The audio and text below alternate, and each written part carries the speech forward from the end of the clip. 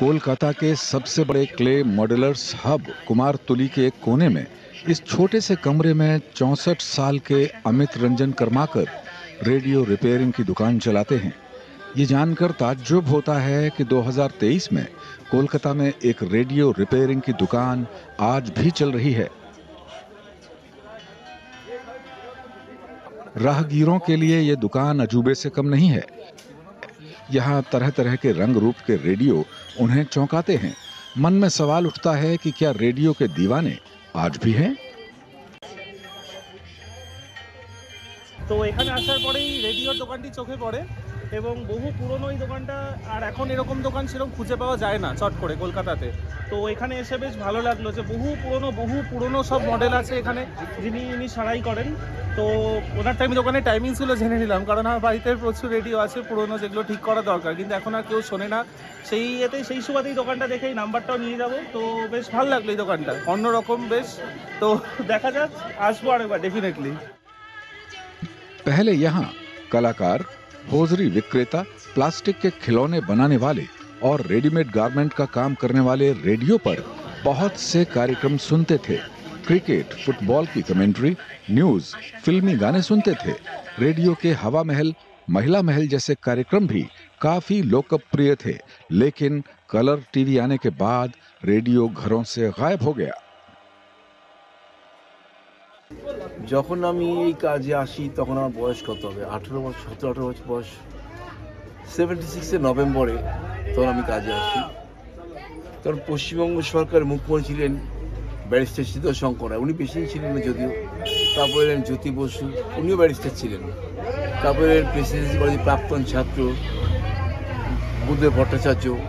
তারপরে এলেন যোগমাদেবী কলেজের প্রাক্তন ছাত্রী পশ্চিমবঙ্গ সরকারের বর্তমানে মাননীয় মুখ্যমন্ত্রী মমতা বন্দ্যোপাধ্যায়।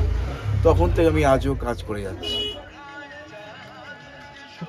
कर्मकार के पास कोलकाता वासियों के अलावा ऐसे ग्राहक भी हैं जो सैकड़ों किलोमीटर दूर से उनके पास रेडियो टेप रिकॉर्डर या स्टीरियो की मरम्मत कराने आते हैं और खुश होकर घर लौटते हैं कर्माकर की दुकान पर एक गैजेट की मरम्मत कराने में पचास रुपए से लेकर सौ रुपए तक का खर्च आता है